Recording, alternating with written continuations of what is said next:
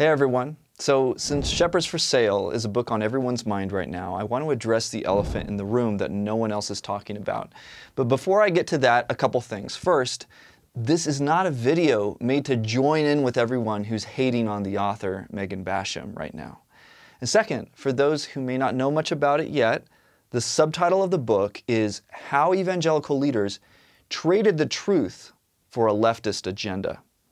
And John MacArthur endorsed it by saying, This may just be the single most important book on modern evangelicalism in recent years. It is bold, clear, and very well researched. So the book has become an instant New York Times bestseller. And the Amazon description says that it documents how progressive power brokers set out to change the American church. Their goal? To co opt evangelicals for political purposes. Shepherds for Sale is a warning of what happens when the church trusts the world's wisdom instead of Scripture. Now, what no one is discussing is that the most ironic thing about this whole book is one simple fact. It's been put behind a paywall and locked down by copyright restrictions. In other words, Shepherds for Sale is Christian exhortation for sale. And this isn't the first time this has happened. Rosaria Butterfield and Eric Metaxas both recently published similar kinds of helpful, important books, and everything I'm about to say applies to them and others like them. But regardless of whether you like or dislike Shepherds for Sale, if even 1% of what she reports is true, then we have a serious problem that needs to be addressed in the American church. And everyone desperately needs to know the truth. The bitter irony is that she's trying to expose the works of darkness by charging people money to find out how they're being deceived. Now, I admire Megan Basham for having the courage to confront the systemic evil and compromise she sees infiltrating the church. And she has nothing short of a prophetic message to share. And much of what she's doing is fulfilling the role of an Old Testament prophet, calling a nation to repentance. She talks about how lies are slowly compromising American Christendom often because of the power and influence of money. Her writing is clearly a form of ministry seeking to edify the body of Christ through clear warnings to return to Scripture as its authority and to resist the pressure to be conformed to the pattern of this world. But by charging for the book, she has undermined the purpose of writing the book to reach as many people as possible with the truth so that reform will result. What's more, by selling the book, she's in clear violation of Christ's command in Matthew 10:8 and the wider teaching of Scripture. And I want to make this clear before I go further. I think Megan is probably unaware of all of this. Like most people selling Jesus today, she's oblivious. And unfortunately, this adds yet another layer of irony. She's pleading with Christians to turn from ignorance and naivety to no longer be deceived by progressive cultural seduction, and yet she herself is a victim of a similar blind spot and deception. The lie that it's okay to sell ministry, that the best way to get the truth out is by charging money for it. Let me be frank. From a purely pragmatic perspective, Megan's choice for how to spread her timely message is unintentionally cruel and illogical. Why? It's illogical to put a paywall between people and urgent warnings. If you truly want to save people from imminent harm, you'll make sure they get access to your warning as quickly, effortlessly, and freely as possible. If you charge a fee before people can hear a tornado or fire warning, it implies that you don't truly want to save lives, nor do you have any real urgency in your heart. This paywall is also cruel because it ensures that many people will suffer harm or death because they didn't hear the warning, especially the poor. Megan, by putting her book behind a paywall, has sealed painful consequences for many people.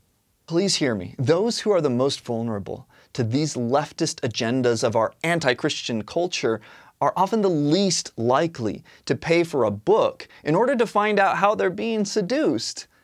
Many who are deceived believe with all their hearts that they're walking in the truth. They scoff at the idea of going out of their way to pay someone to tell them what lies they've fallen for. And ironically, Megan has contributed to the lies that harm evangelicals by believing and promoting a lie herself the lie that Christian exhortation can be turned into merchandise. What's even more tragic is that Megan, in my mind, genuinely has radically important things to say. Many Christians read her book and wish they could share it with hundreds of their friends who are flirting with the perils she describes, but they can neither convince their friends to buy it nor afford to buy a copy for everyone in their life who needs to hear the book's message. And you know what's sad? In spite of this frustration, most believers slavishly accept all of this charging for ministry as normal and even defend it as the way things should be.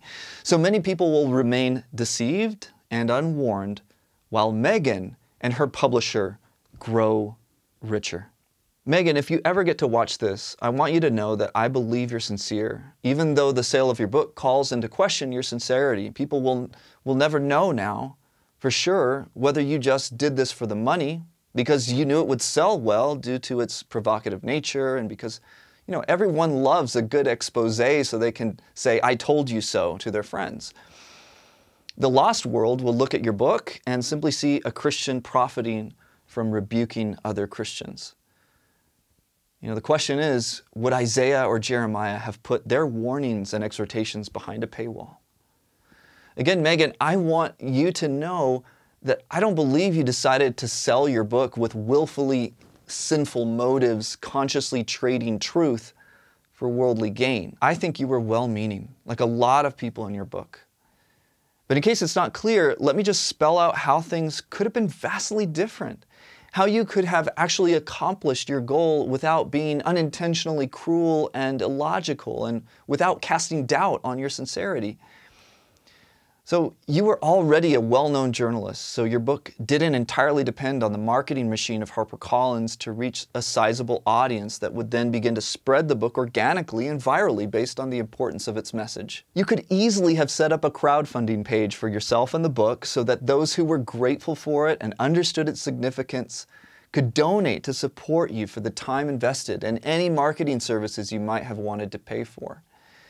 You could simply have released the book as public domain, made it free digitally, and offered print on demand paperbacks at cost. Typesetting could have been provided by a highly affordable freelancer. Legal advice could have been given by volunteer brothers and sisters in Christ or paid for by supporters.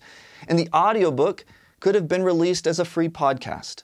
And for maximum discovery, it could have been made into a short series of videos on YouTube that would lead people to a free download of the book for further detail. Again, all costs involved could easily have been defrayed by the free generosity of God's people, just like thousands of missionaries are funded right now around the world.